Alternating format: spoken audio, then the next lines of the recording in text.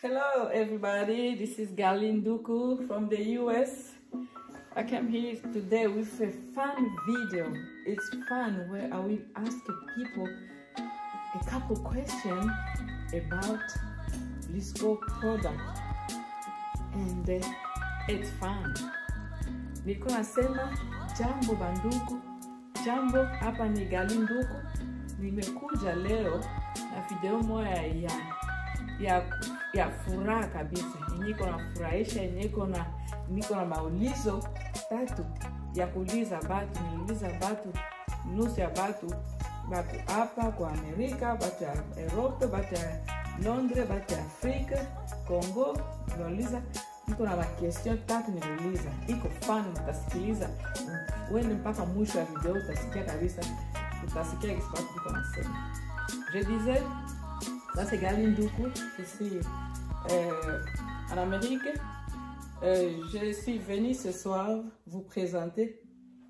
une vidéo qui est vraiment très différent de ce que j'ai toujours fait.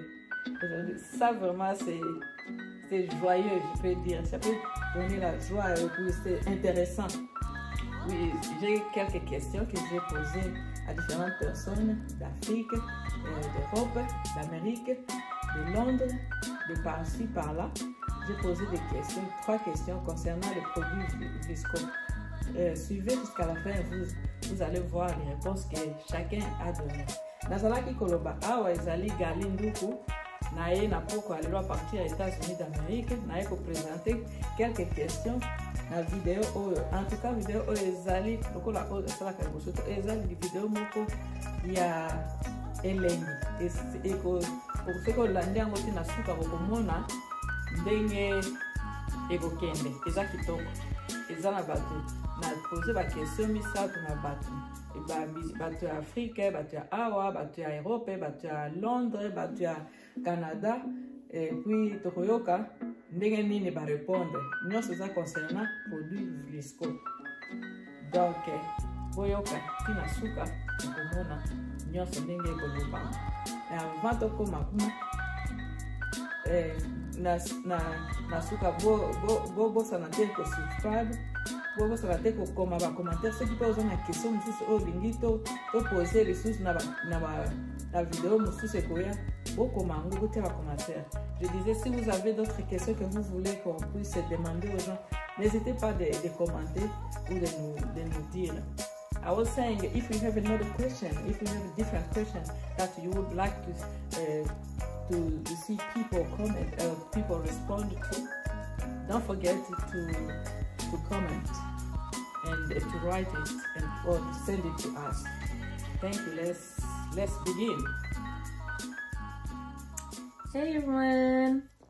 So today, I know you guys have a few questions y'all trying to ask me. So the first question is, what is your favorite Visco product? And honestly, it has to be Glitter Glam. Clearly you can see this like shimmery pattern so I feel like glitter glam is for the girls or guys who want to kind of, you know, stand out, but they don't want to do too much. So if you're not really a grand super kind of person, which that's okay, you can get glitter glam because you're still going to stand out and be the, the star of the party. So I shall say.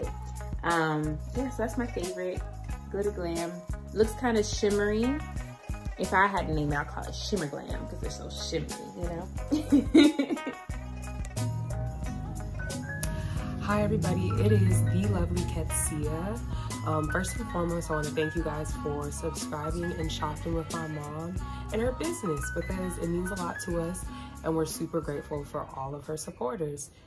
Secondly, if you don't know, I have a YouTube channel, so go ahead and subscribe. It is The Lovely Ketsia, and I'll have it on the screen.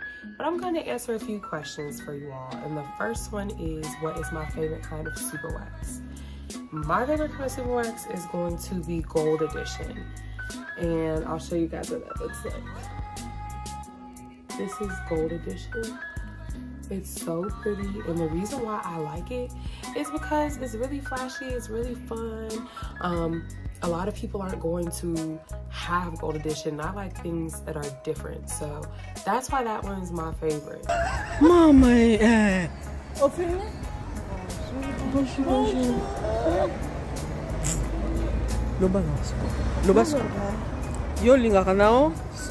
ngai alingaka kaka liputa mama na moi lokola te eza kitoko boye kaka liputa liputa yango mpe kaka super eh, oyo mpe édition ah kitoko ok bon culte merci donc euh, voilà maman elle aime bien les grands super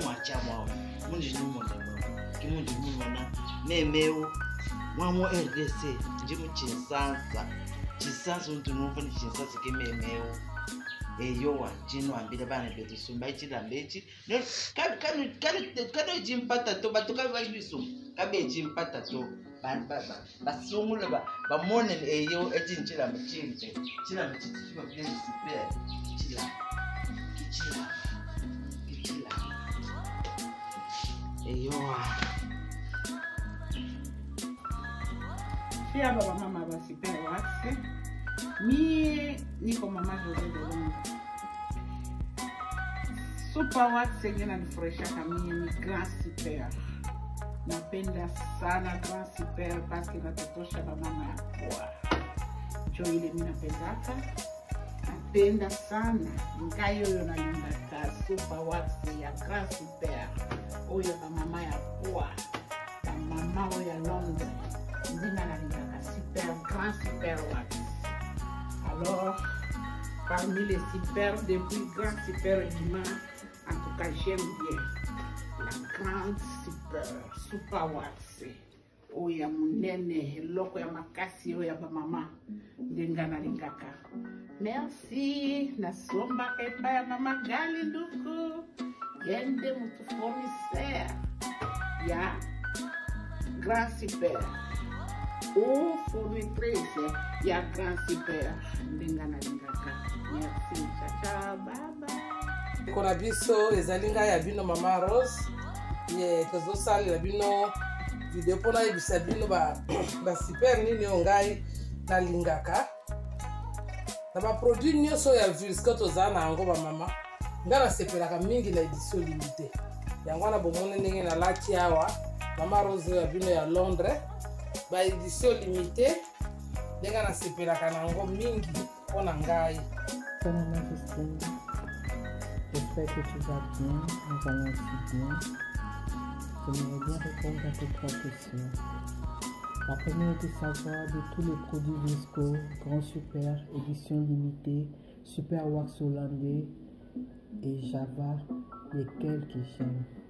J'aime bien les Grand Super.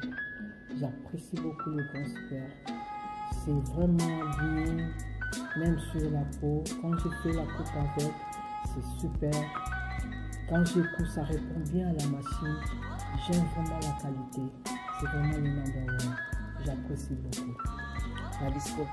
Parmi ma produits disco oyo oh yo oyebi. ya wapi oyo esepelisaka mingi oyo vraiment na ntango otali yango epesaka yo esengo olingaka oyo ya wapi uh, vilsco mpona bandeko oyo bayebi te uh, na konta basuper vilsco azalaka na basuper misato oyo ngai nalati lelo eza oyo tobengaka super régulier epuis oyo ndenge bozomona oyo eza grand super Grand Super ye azali asangisi uh, uh, satin na coton donc liputa oyo meme machine arespectaka yango soki ozotonga grand super batonga ebukanaka pambapamba te favorite na nga ndenge mama atuni eza grand super nayebi kaza cher me ndeko soki olati na elamba etosi nzoto na nsima en dehors ya oyo toza na oyo babengaka gold edition limited alors yango eza mwa dore mwa mokie uh, azali mpe mwa talo mokie mais na banyonso misato oyo ngai nalingaka mingi eza grand super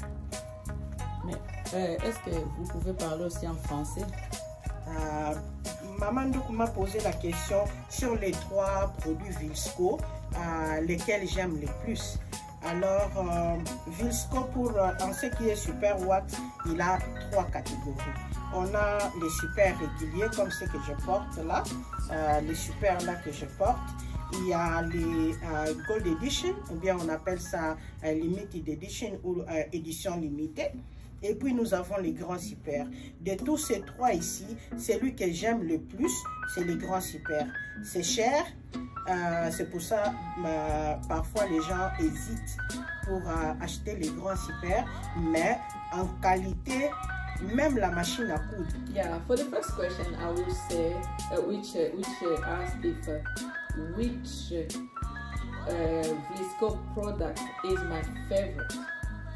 Uh, for that question, I will say it depends of the, on the occasion. If it is an evening event, if it is a, a all oh, everyday going places, if it is a something just simple. It depends the occasion. For the evening event, I will I prefer the grass beer like the one I have here. So grass beer is my favorite evening event because it speaks for itself. It makes a really good good impression on yourself. Oui, je disais à la question de savoir quelle est Euh, le, produit de cristaux que j'aime bien parmi les plus je dirais, euh, ça dépend de l'occasion. Pour, par exemple, une soirée de fête, une soirée la grandiose, j'aimerais mettre le grand super. Parce que le grand super, comme ce que je porte là, le grand super, vraiment, c'est très joli et ça parle tu n'as pas besoin de dire un mot. L'habit parle lui-même. nazalaki koloba Mpo na motuna ya liboso oyo etuni na bilamba nyonso ya Vlisco asala mpo ya wapi nalingaka makasi nalobi ke nalingaka nyonso kasi edependre mpe na likambo yango ezali na kolatela yango wapi soki ezali fete ya monene eza fete ya bien ina pokwa en tout cas oyo ya ba vip il faut nalata grand super mpo grand super yango moko eloba eza baba te eloba soki olati yango elobi eh, soki eza bafete bya kotambola na moi kokende na zandu kokende na, na supermarché kokende parci parla wana nalati nakoki kolata superwax nakoki kolata jean van hollandais nakoki kolata babilama bizai mai na pokwa na olata mingimingi grand super mpo eza mpenza elobaka yango moko elobaka eza kokoye eza kitoko mingi elamba ya valeur ya motuya antuka elamba ya respect nilikuwa nasema kule ulizo ya kwanja enye ilikuwa kusema ya wapi mi napendaka kwa manguo yote ya disco mi nasema ina ina ina dependre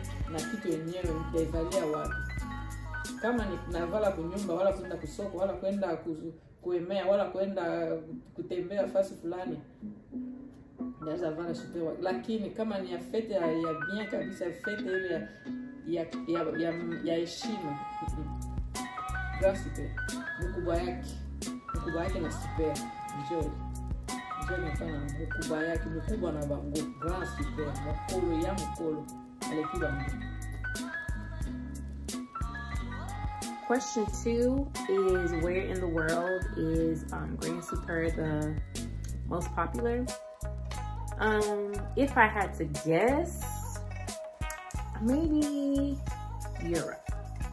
I'm gonna guess Europe because every time I'm watching the videos on YouTube, it just seems like all the European men and ladies are wearing their best Blisco um, outfits you got the Grand Super, you got the limited edition, you got the Glitter Glam, and then of course you got the original um, Super Wax. So I think if I had to guess, I would say Europe. That's my final answer.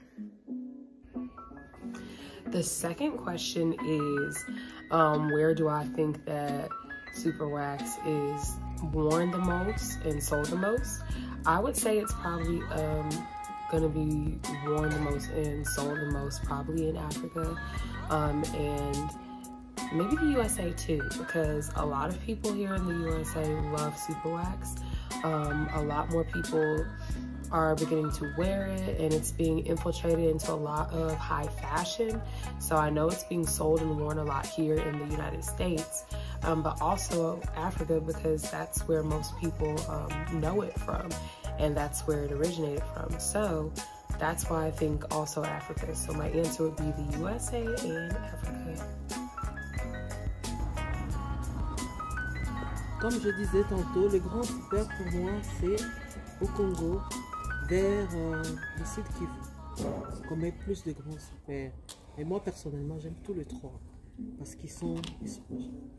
chaque, chaque pagne a son quelque chose de wow les grands super, les tussi oh, magnifique. Et édition, c'est autre chose, ça brille aussi. Et les dessins de super hollandais, c'est magnifique. En tout cas, je vous conseille le moment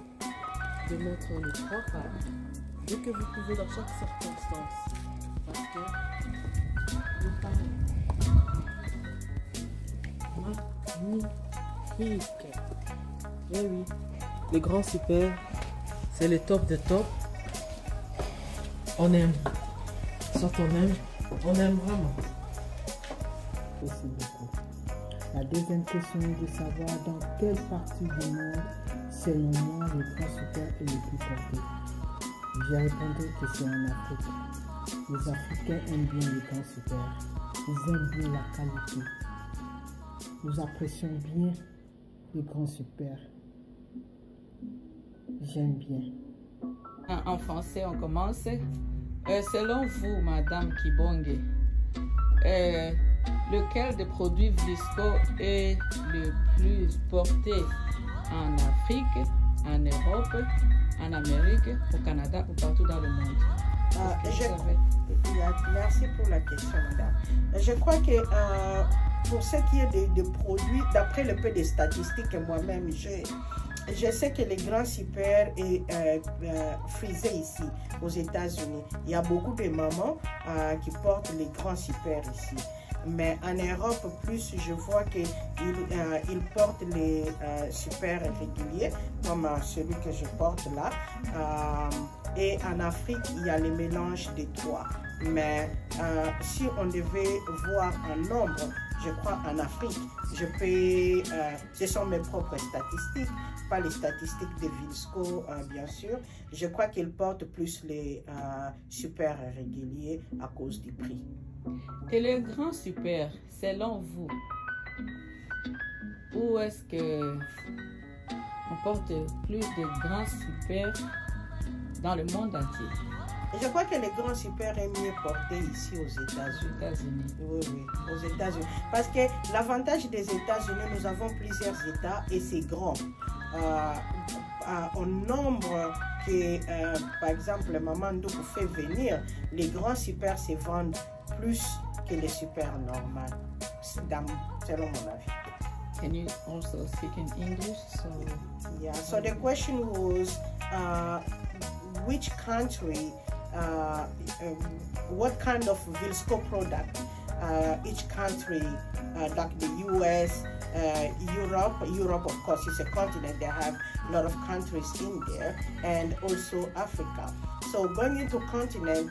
I said that the grassy pear is more where in uh, um, North America, and then in Europe and Africa, most of the time they buy most of the regular uh, super wax than uh, the, um, the, the Grand Super because of the price and also because of the style because each one of them has name and uh, Glossy you don't have a lot of names known to people, but the regular one have a lot of names. Like the one I'm wearing, it's called Village Molokai. So people in Africa are attached to those names. They'll tell you like, I want um, a Village Molokai, I want Biscuit. So all those things people follow uh, in the footsteps of our ancestors. And also Can you speak in uh, ah, Lingala? Ah, okay.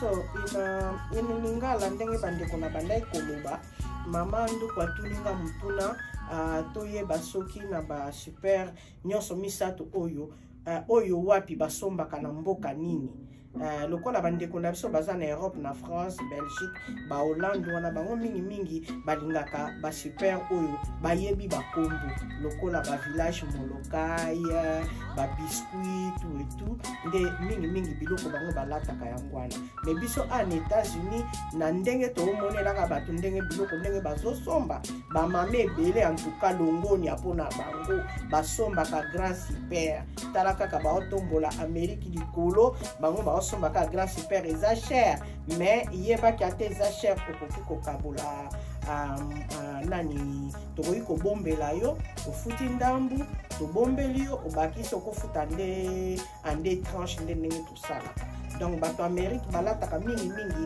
grand super bandeko na afrike na bamama na europe bango mingimingi balataka basuper oyo ya ndenge tobenga yango oregelie thank you so much mama monique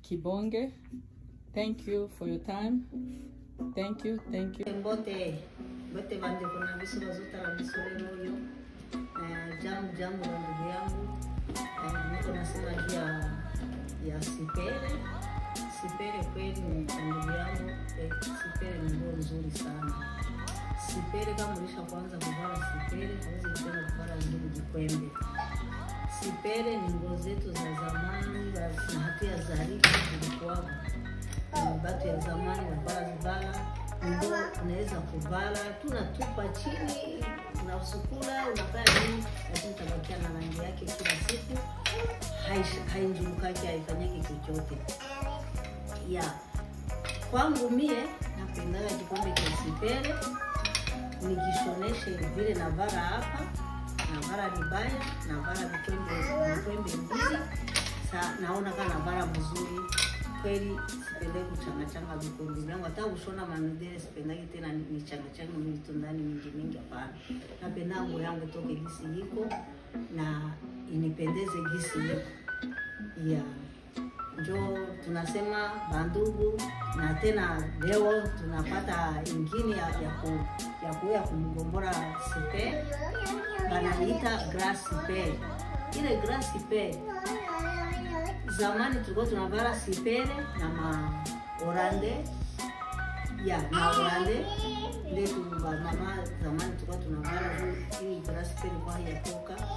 Grass bell nayo inatutoshea sasa, nguo mzuri tena. Grass pele inatoka na gold dishen. nayo ndo wanaita marewa mshe, vaswahili tunaita marewa ya kabisa. Zote ni nzuri, tunazipenda, lakini sipere hatuwezi kuitea chini juu ni nguo ya batate na batate ni nguo nzuri sana, na mai yake katoka kila saa, unapenda uiuze, haishage butamu na bakia vile vile na, na nani yake, ukaiona tu natoka unapenda uuze. Hata uko na ngapi, utapenda uuze kabisa, ndugu yangu. Grasi ile nayo tunaipenda, tuko tunaiuza, ni nguo nzuri sana.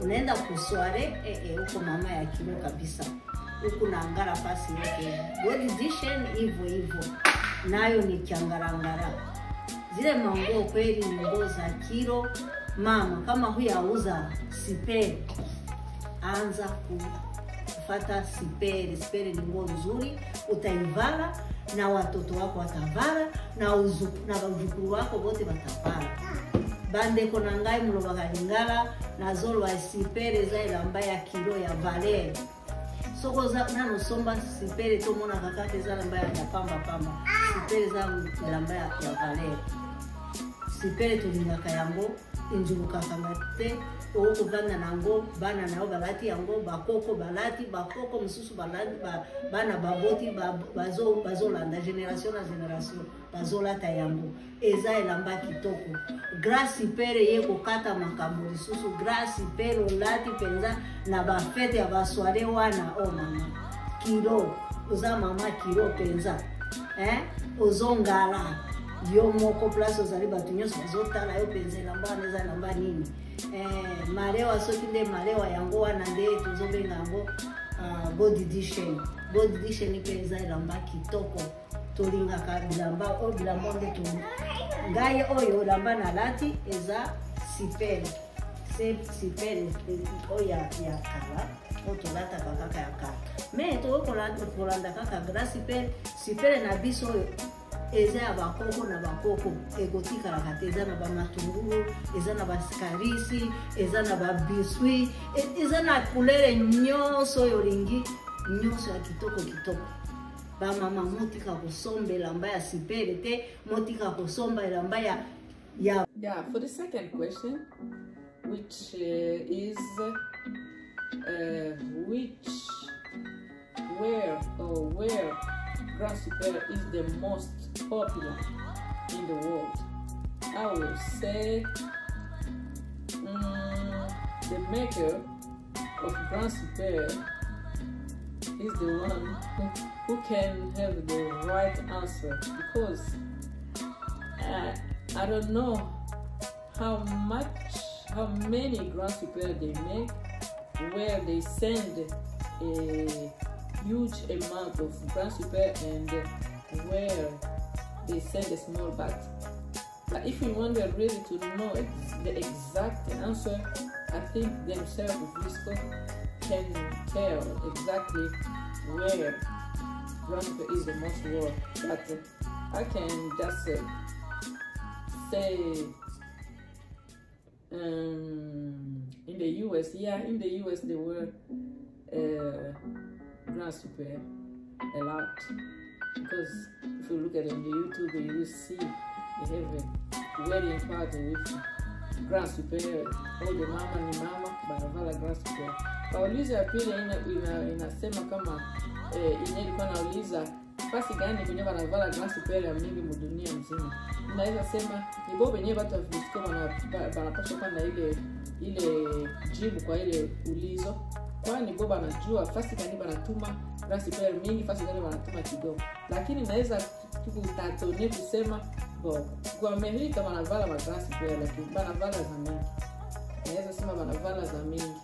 me iyi ko ya mi mo ndio mina iko statistique yangu kusema ke amerika banavala na mingi nazalaki koloba mpona motuna ya koyeba kote nini na mokili esika balataka glasi mpe mobele nalobi ke peut-être bango moko bato ya vlisco bayebi ke elandamaka mingi wapi mpo bayebi batindaka kantite nini kote boye kote boye na monde mais soki olingi oyeba pronostic na nga nga moko nakoki koloba ke na etats-unis mpo etats-unis eza monene mpe bamama ya etats-unis balingi grand super balataka yango mpenza oui je disais à la question de savoir euh, Où est-ce que le, grand super est le plus populaire dans le monde entier Je dirais que c'est les gens des Fisco eux-mêmes qui peuvent avoir une réponse à ça.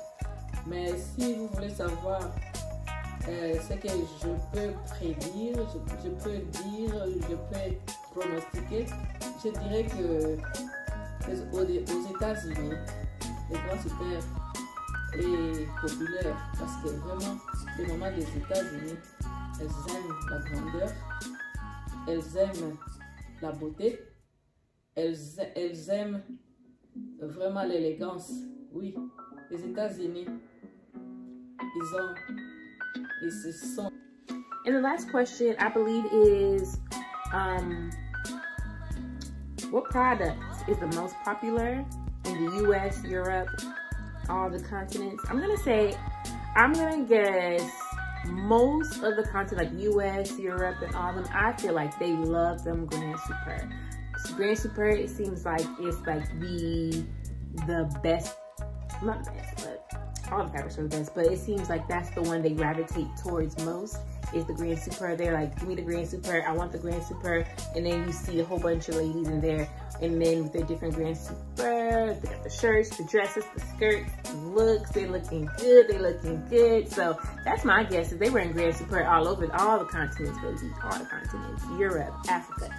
Asia, Antarctica, North Pole. If they got them there, yeah, they're going to wear it there. So that's my answer. And make sure you subscribe to this YouTube channel if you're liking the content. Subscribe, like, comment down below yeah. um, the last question is asking um, which uh, kind of Grand Super or Super Wax or Gold Edition, like where do you think um, each of those categories is won the most um, out of the US, Africa, and Europe.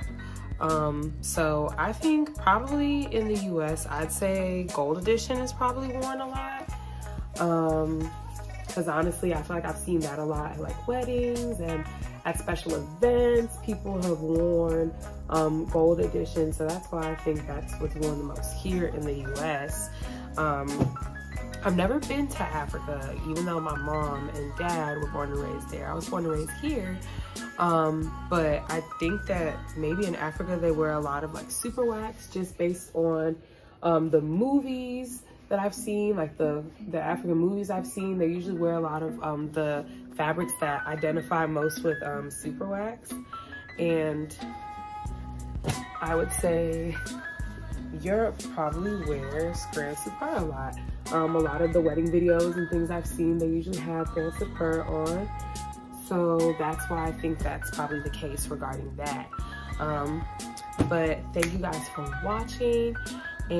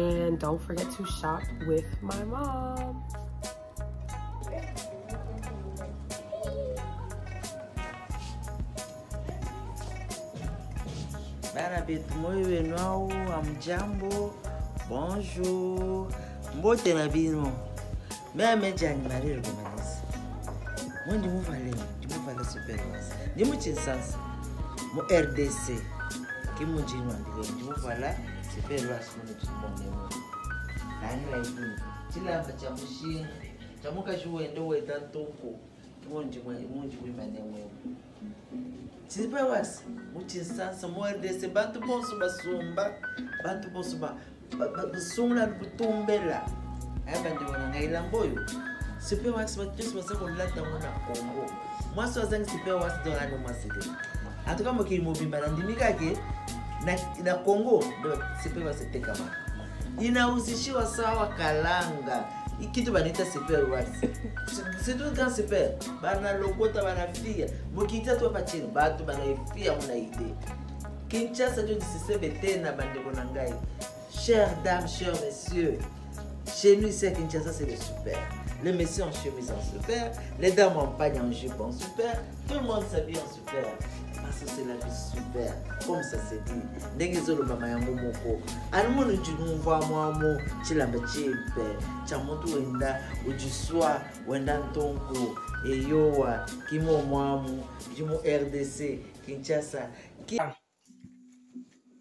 ya bamboka nyonso bamama na biso balingi mingi basuper super eza elamba ya valeur ezali elamba mpo na bino bamama na yango tozobenga bino bamama bolata mingi basuper bagrand super baédition limité na basuper normale la troisième question est de savoir lequel est le plus porté en Afrique, en Europe, en Australie et aux États-Unis. Je dirais que c'est le Super Wax. C'est le plus porté en Afrique. Les Africains apprécient beaucoup les produits de sport. le super et le plus propre à notre Vous aimez bien. merci beaucoup eza ya bakoko na bakoko ekotikalaka te eza na bamatungulu eza na basikarisi eza na babiswi e, eza na kulere nyonso oyo olingi nyonso ya kitoko kitoko bamama motika kosomba elamba ya sipele te motika kosomba elamba ya ya valere wana lisusu ya kilo ya kopesa biso bakilo grasi mpe na goddition e eh, bamama ciao ciao nde yango nalingaki nayebisa bango bamama oyo nano basombi te momibwaka ozala ata na moko to mibale me oza na elamba soki oza na sipele na kati ya, ya, ya varisi na yo ata mibale sipele nani varisi na yo wana eza na kilo eh? eza na valeur soki oza na grasi mpe na ata moko na kati kuna mama oza oza na likambo kuna oza valisi na yo wana eza kilo nde yango wana bamama na biso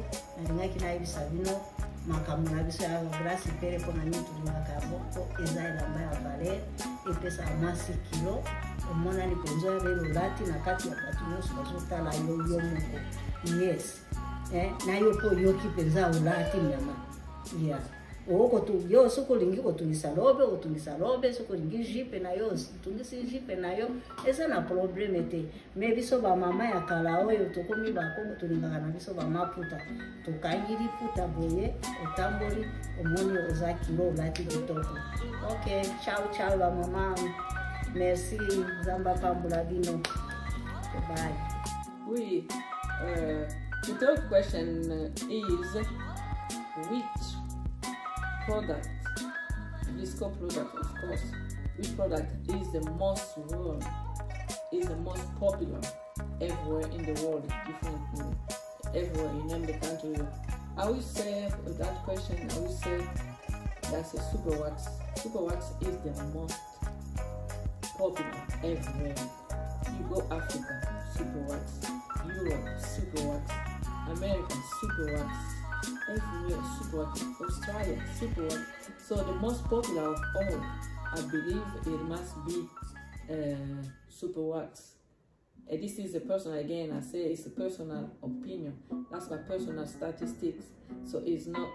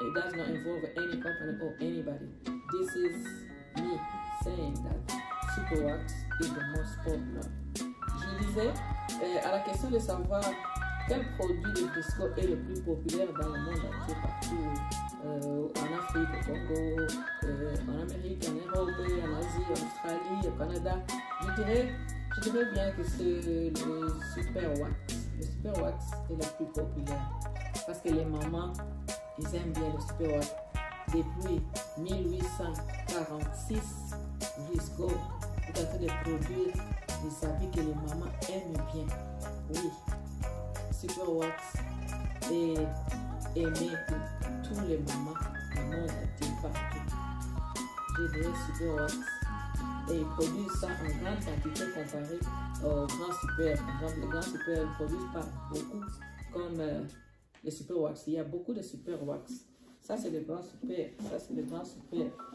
Ça, c'est le super wax. Vous verrez des mamans du Congo qui disent super wax. Super wax. Partout, super wax. Et nazalaki koloba na motuna oyo akoyeba elamba nini ya visco produit nini ya visco oyo elatami na mokili mobimba ebele koleka baproduit mosusu nakoloba ke na baproduit ya visco oyo eza mingi elatami mingi atuka eza super wax mpo eza elamba moko kitoko ya valeur lokola oyo tala oyo super wax ba super wax village molokai matungulu askai eza na bakombo ebele oyo bino moko boyebi super wax atuka elatami mingi na mokili mobimba na, na congo na afrike na partout na burundi na rwanda partout sikoyo basolata mibe na europe na belgique na france na paris na londres na, na états-unis na canada partout na australie super wax ezali vraiment ezali mpenza bamama balati mpe omoni mpenza ke wi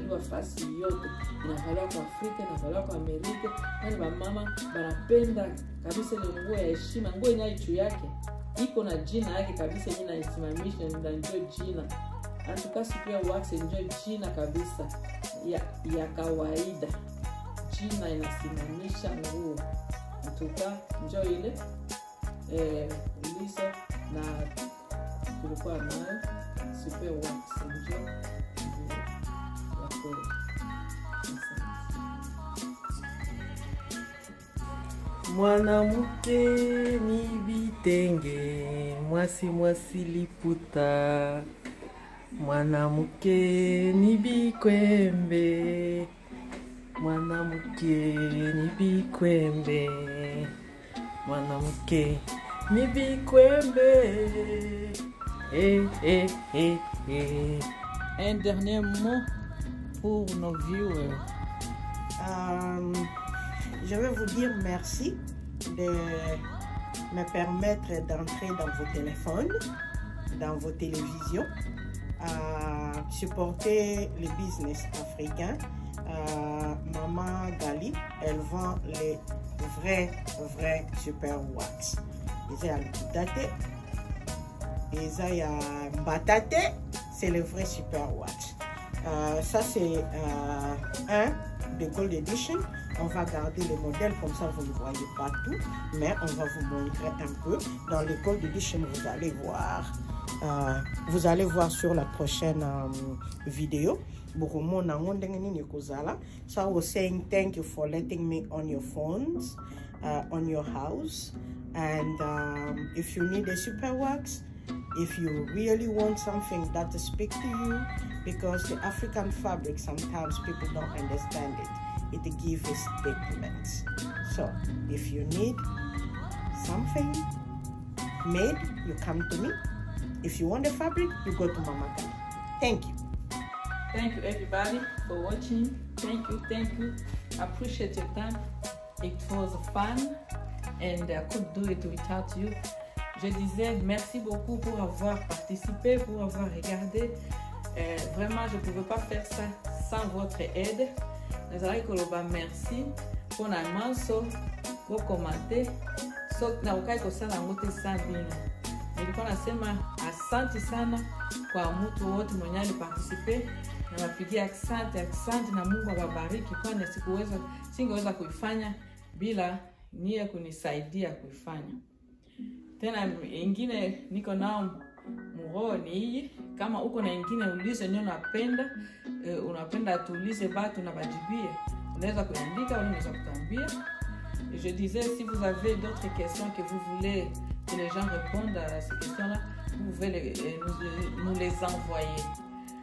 uh, I was saying if if you have another question or different question that you would like people respond to, don't hesitate to send it to us, and we will ask and we will make another video, the next one. I appreciate your comment. I appreciate your participation. I appreciate everything, and God bless you.